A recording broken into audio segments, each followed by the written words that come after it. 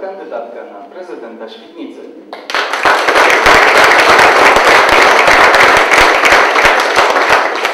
Szanowni Państwo, koleżanki i koledzy, jako kandydat na prezydenta Świdnicy uważam, że prezydent ma być dla mieszkańców i dla miasta.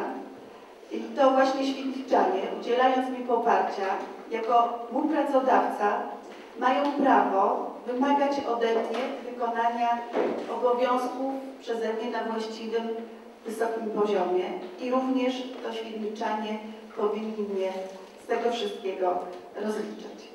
Moim szefem są świdniczanie.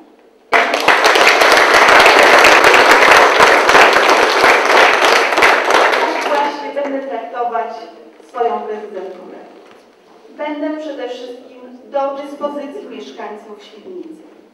Będę rozsądnie gospodarować środkami publicznymi i będę prowadziła politykę przejrzystą i na bieżąco informowała mieszkańców o stanie finansów, o stanie inwestycji, jak i również moich planach na przyszłość. Chciałabym się skupić jedynie na konkretach, które z tego programu wynikają.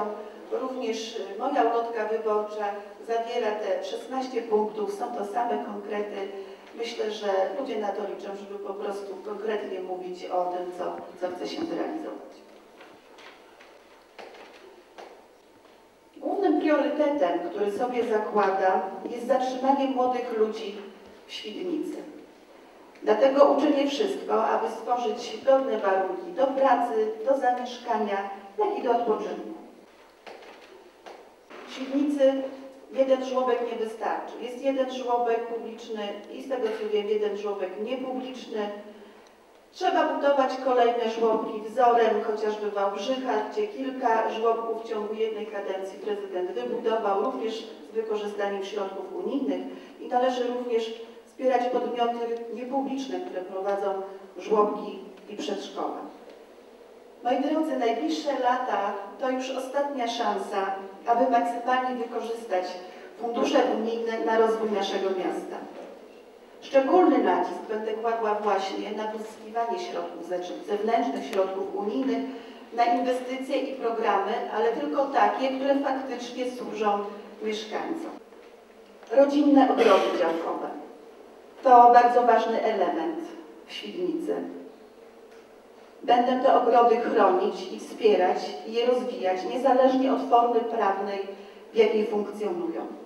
Wykreślę z planu zagospodarowania przestrzennego Świdnicy drogę biegnącą przez ogrody działkowe przy ulicy Staszica. Płatna strefa parkowania to jest również czynnik, który mocno ogranicza. Jest ona za obszerna i zbyt drogie są opłaty za parkowanie.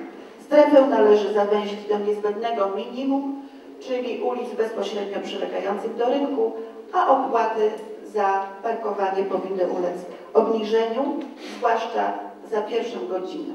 Bo jeżeli obniżymy te opłaty i one będą symboliczne za pierwszą godzinę, to każdy będzie się starał w tej godzinie zmieścić i swoje sprawy pozałatwiać i na pewno nie będzie blokował e, dostępu do centrum miasta. Zarówno ja, jak i cały Urząd Miejski będziemy dla mieszkańców. Moje drzwi będą zawsze stały otworem, tak jak zawsze zresztą.